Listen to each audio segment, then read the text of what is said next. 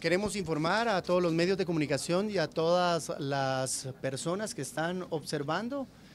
que eh, el día de hoy se presentaron a las oficinas de la Municipalidad de Guatemala en el edificio y en varias áreas de la municipalidad, precisamente en 17 áreas. Dentro de ellas tenemos la Dirección de Desarrollo Social, eh, donde está el área del adulto mayor, y eh, apoyo a la niñez, en la Dirección de Educación y Cultura, en desarrollo social, en el área de comunicación social, en varias áreas, son 17 áreas también en donde eh, se presentaron eh, representantes del Ministerio Público acompañados de elementos de la Policía Nacional Civil con una orden de allanamiento. El alcalde Ricardo Quiñones ha dado la instrucción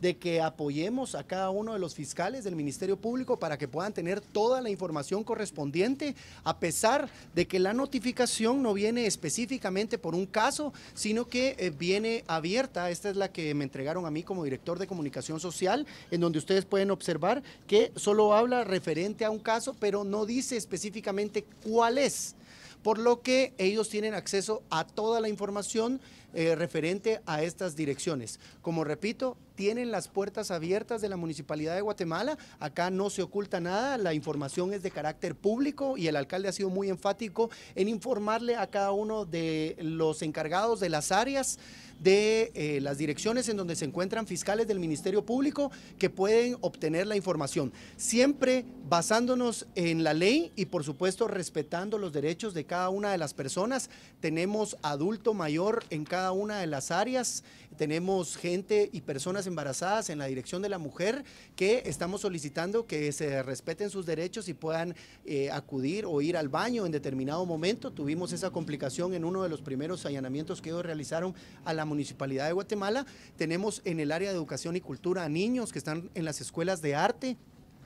pues en este momento todos fueron eh, dirigidos hacia una de las oficinas, se les retiró celular, toda la comunicación correspondiente y lo que estamos pidiendo es que tengan el apoyo para poder dirigirse a cada, a cada una de, de esas áreas. Esta es una institución administrativa y eh, en ningún momento corren peligro, como para llegar con alrededor de 10, 12 o 14 elementos de la Policía Nacional Civil a cada una de las áreas. No es necesario. Tienen abiertas las puertas, ellos no corren peligro, la información está disponible para que ellos la puedan extraer sin ningún inconveniente. Por otro lado, también hubiera sido necesario eh, el poder solicitar, como en otros casos, la información para no paralizar cada una de las direcciones en las cuales ellos se encuentran presentes en este momento en donde se ha paralizado la eh, labor municipal para los vecinos de la ciudad capital. Y sí es importante recordarles que toda la documentación es administrativa,